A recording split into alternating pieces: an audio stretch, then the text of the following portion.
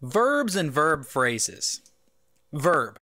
A verb is a word that expresses an action or a state of being. Every sentence has at least one verb. Many sentences have more than one. Here are some examples of verbs. Play. I played drums. Play is an action verb. It's something that you can do. Is. Pizza is delicious. Is expresses a state of being. Are trimming. We're trimming the tree.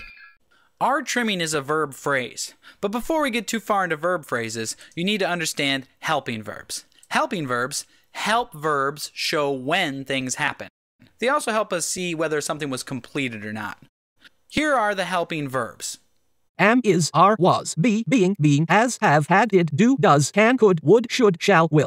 Helping verbs also help us make verb phrases. You cannot make a verb phrase without helping verbs. Because a verb phrase is a verb and at least one helping verb. Here is an example of a verb phrase. Katie was writing her essay about friendship. So the verb in this sentence is not was and is not writing, but is was writing. The verb is both of those. This sentence has a verb phrase. So, what is the helping verb in this sentence? What is it doing? The helping verb is was, and it's working with writing to show that the event occurred in the past. Katie was writing in the past. Here are some more examples of verb phrases.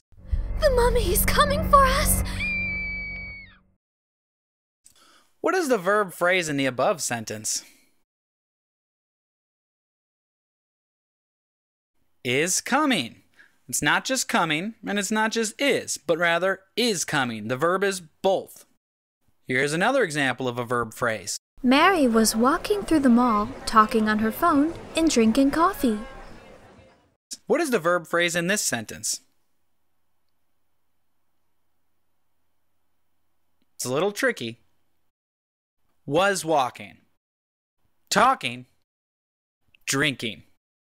This is a compound verb phrase with many parts. Each expresses what Mary was doing walking, talking, drinking. And was shows us that it was happening in the past. Here's another example of a verb phrase.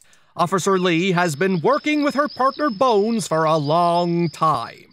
What is the verb phrase in this sentence?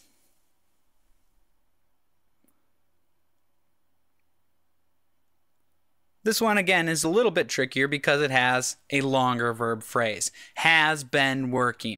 This one has two helping verbs. Has been. And we'll discuss more why we use constructions like has been in the lesson about conjugating verbs. So, in review, verbs express actions or states of being. Helping verbs help verbs to show when something occurred, if something occurred, and whether it was completed or not and verbs combine with helping verbs to make verb phrases.